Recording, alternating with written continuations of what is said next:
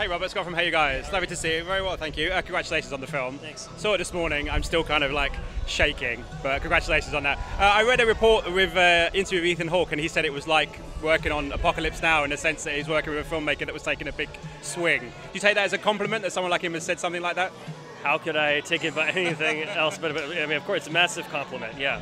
And uh, I, wanted to ask you about the cinematography, which is just exceptional in this. How how early into the process did you set upon what you wanted the film to look like? Because you know you've got the dark scenes, which are very distinctive, the light scenes that are very distinctive. How did you settle on what you wanted it to look like? I mean, pretty early on, the, the night scenes are inspired by Jarin Blaschke, my DP's time in Africa in remote locations with no light pollution, and that's his experience of experiencing night with no light pollution. And then, you know, uh, as far as the, the scenes inside at night, uh, Vikings just had a big fire, and that's it. so, so that's what we all, all we have to work with, you know.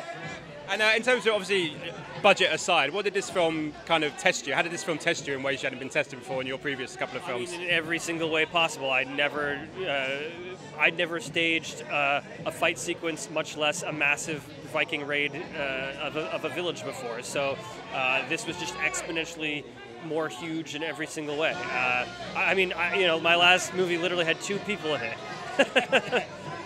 Yeah. And I wanted to ask you about the scene. There's a great scene with Ethan and Willem and a young actor that plays the young Alexander.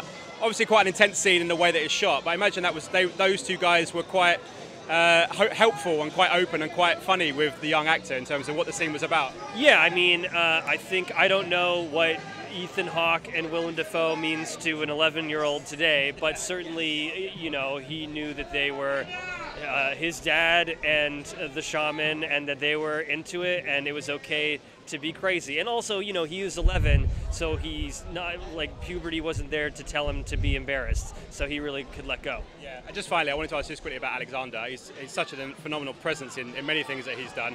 What do you think people can see differently in this, in his performance that he ha- people haven't seen before? I mean, it's his. Uh, it's his best performance, I think, um, and and I just th- think the commitment is insane. The, the the the the fury that he's able to channel as this character is shocking, and especially knowing Alex, who's like the nicest, sweetest, goofiest, fun-loving, gentle person, and he becomes like this, you know, tormented beast who literally carries the weight of trauma on his shoulders throughout the whole movie. Fantastic. Well, I wish you all the best of it. Thank you so much for your time.